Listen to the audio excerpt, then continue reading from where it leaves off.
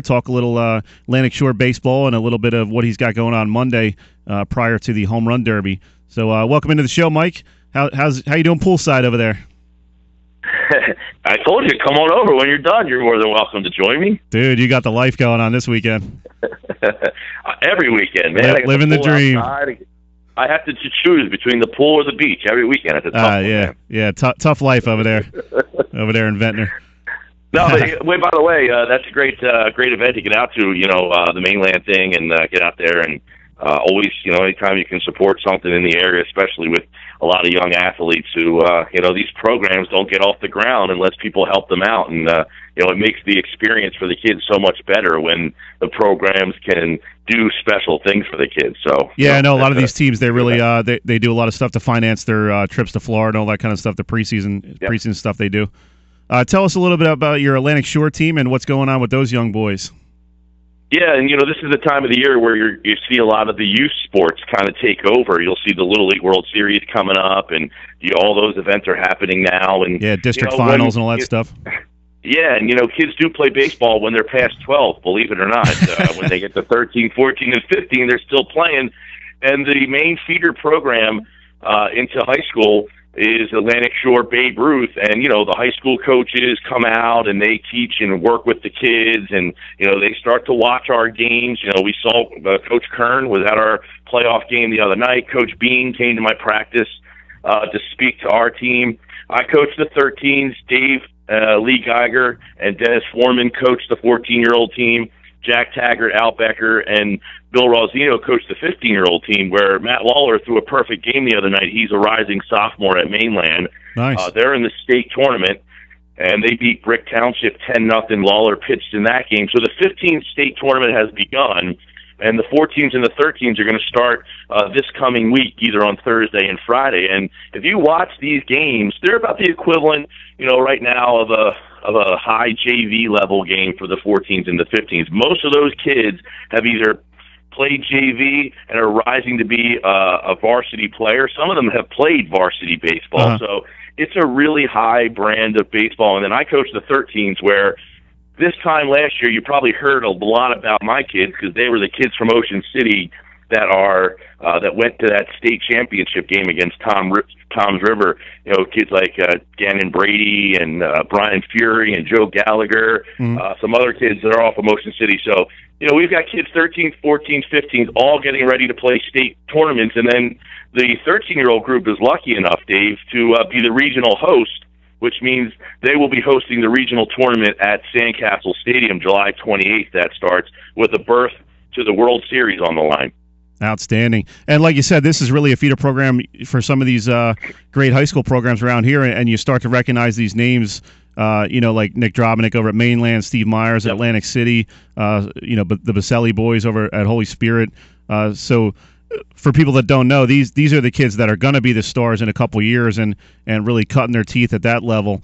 Uh, it's got to be neat to see these guys progress and, and say, hey, I coached that kid when he was 13, and now he's you know he's a big time Cape Atlantic League player. Well, Dave, there's no doubt about it. And the, the question, the, the big thing is, we had a practice the other night over in Ventnor, is where the 13 year olds practice.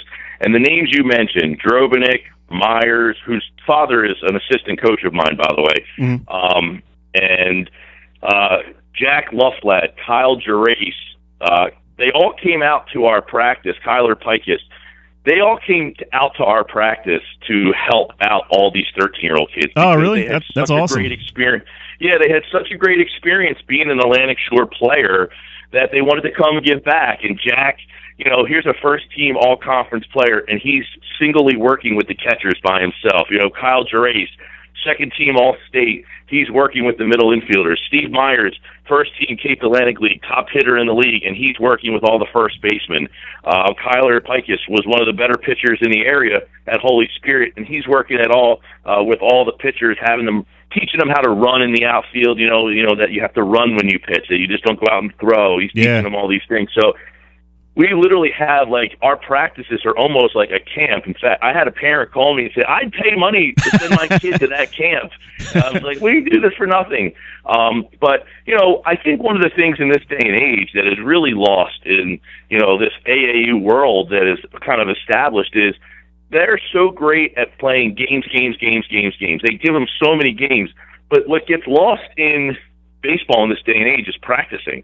No one really practices, and a lot of the fundamentals get lost. And that's one of the things that we really uh, take pride in is having good, hard, solid practices and teaching the kids the fundamentals because the high school coaches they're paying attention to our league. They're watching our league. They call our coaches and ask about these kids because they know that we're out practicing and they come to our practices and talk to the kids and tell them what they expect from them to be a varsity baseball player. And what's the reaction of those 13 year olds when they see these high school stars that they they obviously know the names of these kids and and to see maybe the the coach who's going to coach them for the next couple years when they get to to high school what's their reaction when they see these coaches and these guys who who they've heard about for the last couple of years well, it's really cool because we tell them, look, these kids all played Atlantic Shore. They started as 13 year olds, and now they've worked their way through the system, and now they're back here. Pick their brains, talk to them.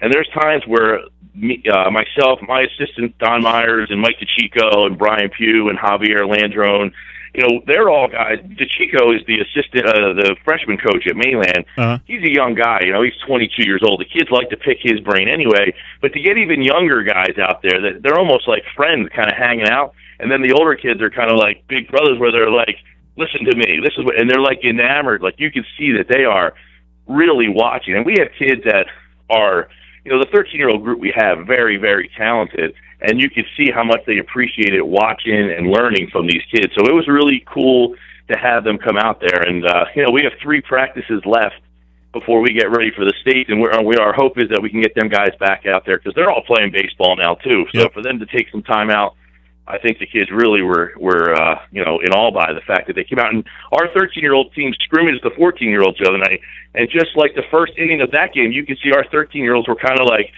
man, these guys are really good, and and you know we hung in there, we lost five to four, but in the first inning we got a little shell shocked, I think, because those kids are now the next group of kids that are going to be you're, you're going that 14 year old team is you're going to be hearing a lot about them in the next two three years. Yeah, definitely. Uh, we're up against the break here, up against the end of the show. Thanks for taking a few minutes, Mike. Uh, tell us real quick about Monday, the the uh, wiffle ball home run derby. Yeah, we're going to be at Kix McNutley's for the Sports Bash, and uh, we got an ultimate beach package. The package that we're giving away is unbelievable. So if you want to register or come on out and just hit some wiffle ball home run derby, it's open to the public, but the people who register are going to get first chance at it and the first chance to win all the prizes. We got about 15 people that want to participate right now, but it's open to everybody Monday. At Kix McNutley's 63rd and Landis and Sea Isle. Nice. Thanks for taking a few minutes, Mike. Enjoy the rest of your weekend. All right, Dave. Take care, man. Thanks so much. You got it. Thanks, bud. All right, that's going to do it.